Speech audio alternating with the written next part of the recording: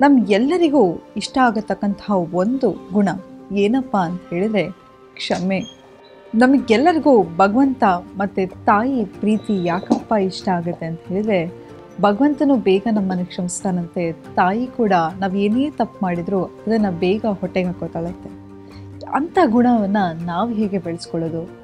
ನಮ್ಮ ಜೀವನದಲ್ಲಿ ಯಾರಾದರೂ ನಮಗೆ ತುಂಬಾ ಕೆಡಕು ಉಂಟು ಮಾಡಿದರೆ ಅದನ್ನು ಹೇಗೆ ಕ್ಷಮಿಸಿ ಮುಂದಿನ ಜೀವನವನ್ನು ಸಾಗಿಸಿದ್ರು ಅನ್ನೋದ್ರ ಬಗ್ಗೆ ಮಾತಾಡ್ತಾ ಈಗ ಒಂದು ಉದಾಹರಣೆಗೆ ತಗೊಳ್ಳಿ. ನಿಮ್ಮ ಬ್ಯಾಗು ತುಂಬಾ ತೂಕ ಇರುತ್ತೆ ತುಂಬಾ ಹೆವಿ ಆಗಿದ್ರೆ ನೀವು ಹೋಗೋ ನಡಿ, ನಡೆಯೋ ಸ್ಪೀಡು ಸ್ಪೀಡಾಗಿರ್ಲಿಕ್ಕೆ ಸಾಧ್ಯನಾ? ಇಲ್ಲ. ಹಾಗೆ ನಾವು ಜೀವನದಲ್ಲಿ ಹಾರಬೇಕು, ಮೇಲೆ ಏರಬೇಕು ಅಂತ ಹೇಳಿದ್ರು ಕೂಡ ನಮ್ಮಲ್ಲಿರ್ತಕ್ಕಂತಹ ಈ ಅಸೂಯೆ, ದ್ವೇಷ, ಈ ಕೋಪ ಎಲ್ಲವೂ ನಮ್ಮನ್ನು ಕೆಳಗೆ ತರ್ತಾ ಇರುತ್ತೆ. ಹಾಗಾಗಿ ನಾವು ಬೆಳಿಬೇಕು ಅಂತ ಹೇಳಿದ್ರೆ ನಾವು ಕ್ಷಮಾಯಾಧರಿತ್ರಿಯಾಗಿರಬೇಕು ನಾವು ಜೀವನದಲ್ಲಿ ಯಾರು ಏನೇ ಅನ್ಯಾಯ ಮಾಡಲಿ, ಏನೇ ತಪ್ಪು ಮಾಡಲಿ, ಅವರ ಮೂರ್ಖತನವನ್ನು ನೋಡಿ ನಕ್ಕು ನಾವು ಮುಂದೆ ಜೀವನ ಸಾಗಿಸ್ಬೇಕು. ಹೌದು, ಇದು ಹೇಳೋಷ್ಟು ಸುಲಭ ಅಲ್ಲ. ನಮಗೆ ಎಷ್ಟು ಥರ ಅನ್ಯಾಯ ಆಗಿರುತ್ತೆ, ಪ್ರೀತಿಯಲ್ಲಿ ಅನ್ಯಾಯ ಆಗಿರ್ತಾರೆ, ಹಾಗೆ ಇರುತ್ತೆ. ನಾವು ಎಷ್ಟೋ ಸತಿ ಜೀವಕ್ಕಿಂತ ಹೆಚ್ಚಾಗಿ ಪ್ರೀತಿಸಿರ್ತೀವಿ ನಮಗೆ ಮೋಸ ಮಾಡಿರ್ತಾರೆ. ಆದರೆ ಅವ್ರನ್ನ ಕ್ಷಮಿಸ್ಬೇಕು ಅಂತ ಹೇಳಿದ್ರೆ ನಮಗೆ ಎಷ್ಟು ಕಷ್ಟ ಆಗುತ್ತೆ. ಹಾಗೆ ಮತ್ತು ವ್ಯವಹಾರದಲ್ಲಿ ತುಂಬಾ ನಂಬಿ ದುಡ್ಡು ಕೊಟ್ಟಿರ್ತೀವಿ, ಅವ್ರು ಮೋಸ ಮಾಡಿರ್ತಾರೆ. ಅದನ್ನು ಕ್ಷಮಿಸು ಅಂತ ಹೇಳಿದ್ರೆ ಹೇಗೆ ಸಾಧ್ಯ ಅನಿಸುತ್ತೆ? ಅಥವಾ ಸಂಬಂಧಿಕರು ಯಾರು ಮೋಸ ಮಾಡಿರ್ತಾರೆ, ಅದನ್ನು ಕ್ಷಮಿಸಿ ಅಂತ ಹೇಳಿದ್ರೆ ಹೇಗೆ ಸಾಧ್ಯ ಅಂತಂದರೆ ಹೌದು. ಯಾಕಂತ ಹೇಳಿದ್ರೆ ನೋಡಿ, ಯಾರೇ ಏನೇ ತಪ್ಪು ಮಾಡಿರಲಿ, ಅವರ ಮೂರ್ಖತನದಿಂದ ಆ ತಪ್ಪನ್ನು ಮಾಡಿರ್ತಾರೆ. ಅದು ನಮಗೆ ಏನೋ ಹೌದಪ್ಪ, ಇದು ದೊಡ್ಡ ಮಹತ್ವದ ಅನ್ಯಾಯ ಅಂತ ಅನ್ಸ್ಬೋದು. ಆದರೆ ಒಂದು ನೋಡಿ, ನಮ್ಮ ಜೀವನದಲ್ಲಿ ಯಾರೇ ಆಗಿರಲಿ, ಯಾರೇ ನಿಮ್ಮ ಲೈಫಲ್ಲಿ ಬಂದಿರಲಿ ಮನೆಗೆ ಬರ್ತಕ್ಕಂತಹ ಒಬ್ಬ ನೆಂಟರಾಗಿರ್ಬೋದು ಅಥವಾ ಯಾರೇ ಆಗಿರಲಿ ನಿಮ್ಮ ಜೀವನದಲ್ಲಿ ಒಂದು ಕಾರಣಕ್ಕೆ ಬರ್ತಾರೆ. ಅದನ್ನೇ ನಾವು ಕಾರ್ಮಿಕ್ ರಿಲೇಷನ್ಶಿಪ್ ಅಂತ ಹೇಳ್ತೀವಿ. ಅದರಲ್ಲಿ ನಮಗೆ ಏನಾದರೂ ಒಂದು ಪಾಠ ಕಲಿಸ್ಲಿಕ್ಕೆ ಬಂದಿರ್ತಾರೆ. ನಾವು ಎಂಥ ಸ್ಕೂಲಿಗೆ ಹೋದ್ರು ಎಂಥ ಕಾಲೇಜ್ ಹೋದರೂ ಅಂಥ ಪಾಠವನ್ನು ಕಲೀಲಿಕ್ಕೆ ಸಾಧ್ಯ ಇಲ್ಲ. ಆದರೆ ಬುದ್ಧಿವಂತರಾದವ್ರು ನಾವು ಏನು ಮಾಡಬೇಕು ಅಂತ ಹೇಳಿದರೆ, ಆ ಜೀವನದಲ್ಲಿ ಕಲ್ತಕ್ಕಂತಹ ಪಾಠವನ್ನು ಕಲಿತು ಮುಂದೆ ಸಾಗಬೇಕು ಹೊರತು ಆ ದ್ವೇಷ, ಅಸೂಯೆ ಅನ್ನೋದಲ್ಲ ನಮ್ಮಲ್ಲಿರ್ತಕ್ಕಂಥ ವಿಷಯ ಅದು ನಮ್ಮನ್ನು ಸಾಯಿಸ್ತಾ ಹೋಗುತ್ತೆ ಹೊರತು ಎದುರುಗಡೆ ಇರೋರಿಗೇನೂ ಆಗಲ್ಲ. ಹಾಗಾಗಿ ಆ ದ್ವೇಷ, ಅಸೂಯೆ ಎಲ್ಲವನ್ನೂ ದೂರ ತಳ್ಳಿ ಮನುಷ್ಯನನ್ನು ಪ್ರೀತಿಯಿಂದ ಕಾಣಿ, ಕಾಣ್ತಾ ಹೋಗಿ. ಯಾವಾಗ ನಾವು ಪ್ರೀತಿ ಕೊಡ್ತಾ ಹೋಗ್ತೀವೋ, ನಾವು ದೊಡ್ಡವರಾಗ್ತಾ ಹೋಗ್ತೀವಿ. ಕ್ಷಮಿಸೋದು ತುಂಬಾ ಕಷ್ಟ.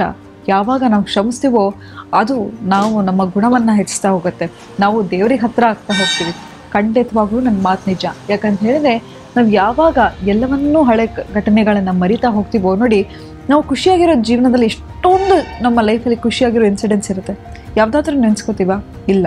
ಯಾವುದು ದುಃಖವಾಗಿರುತ್ತೆ ಯಾವುದು ಮನಸ್ಸಿಗೆ ತುಂಬ ಭಾರವಾಗಿರುತ್ತೆ, ಆ ವಿಷಯಗಳನ್ನು ನೆನೆಸ್ಕೊಂಡು ನೆನೆಸ್ಕೊಂಡು ಹೊಸ ದಿನವನ್ನು ಹಾಳು ಮಾಡ್ಕೋತಾ ಹೋಗ್ತೀವಿ.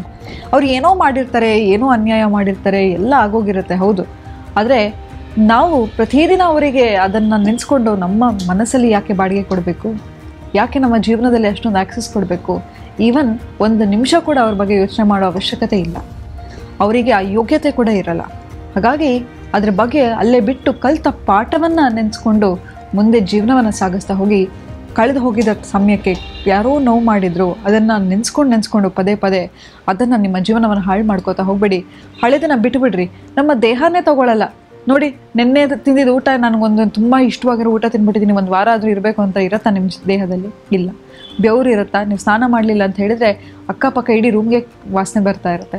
ಹಾಗೆ ನಾವು ನಮ್ಮ ದೇಹ ಹಾಗೆ ಹೇಗಿರುತ್ತೆ ಅಂತ ಹೇಳಿದ್ರೆ ಬೇಡದೆಲ್ಲವನ್ನು ಆಚೆ ಕಲ್ಸ್, ಕಳಿಸ್ಬಿಡುತ್ತೆ. ನೆಕ್ಸ್ಟ್ ಬೆಳಗ್ಗೆ ಆಗೋತ್ತಿಗೆ ನಮ್ಮ ದೇಹದಲ್ಲಿ ಏನನ್ನೂ ಇಟ್ಕೊಳ್ಳಲ್ಲ. ಅಂಥದ್ರಲ್ಲಿ ಮನಸ್ಸಲ್ಲಿ ಯಾಕೆ ಇಟ್ಕೋತೀರಾ? ಮನಸ್ಸಲ್ಲಿ ಬೇಡದ ಆಲೋಚನೆಗಳನ್ನು ಯಾಕೆ ಮಾಡ್ತೀರಾ? ಹಳೆದನ್ನು ಯಾಕೆ ನೆನೆಸ್ಕೋತೀರಾ?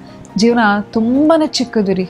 ಎಷ್ಟು ಚಿಕ್ಕದು ಅಂತ ಹೇಳಿದ್ರೆ ನಾವೆಲ್ಲರೂ ದಿನ ದಿನ ಕಳೀತಾ ಸಾವಿಗೆ ಹತ್ರ ಆಗ್ತಾ ಹೋಗ್ತೀವಿ ಹೊತ್ತು ಇಲ್ಲಿ ನಾವು ಆ ಪ್ರತಿದಿನ ನಮಗೆ ಒಂದು ಗಿಫ್ಟ್ ಅಂತಲೇ ಹೇಳ್ಬೋದು. ಹಾಗಾಗಿ ಮನಸ್ಸನ್ನು ಭಾರ ಮಾಡ್ಕೊಳ್ಳಿಕ್ಕೆ ಹೋಗಬೇಡಿ.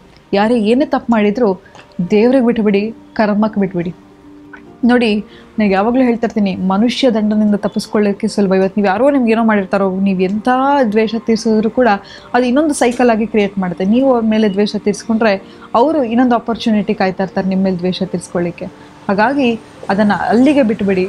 ಮುಂದೆ ಜೀವನ ತುಂಬಾ ಚೆನ್ನಾಗಿದೆ.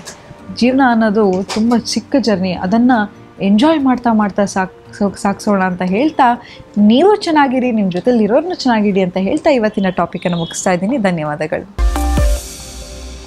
click the bell icon to watch our latest videos.